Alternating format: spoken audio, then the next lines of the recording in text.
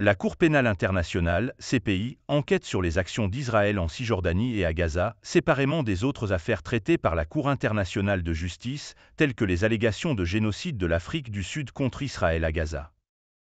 Les médias israéliens rapportent que le gouvernement a reçu des informations de la part de responsables juridiques indiquant que la Cour pénale internationale envisage de délivrer des mandats d'arrêt contre des hauts fonctionnaires, y compris le Premier ministre Benjamin Netanyahou.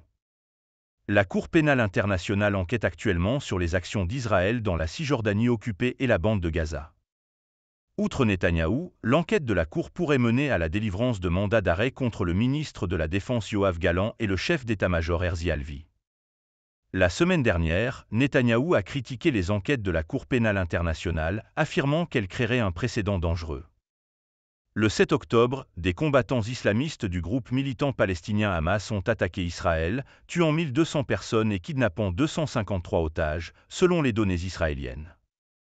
Israël a ensuite imposé un siège total à Gaza et lancé une attaque aérienne et terrestre qui a tué plus de 34 000 Palestiniens, selon les autorités sanitaires de la Gaza contrôlée par le Hamas. Pendant ce temps, la Cisjordanie n'a pas été épargnée, avec des opérations de l'armée israélienne là-bas et des attaques de colons israéliens contre des Palestiniens.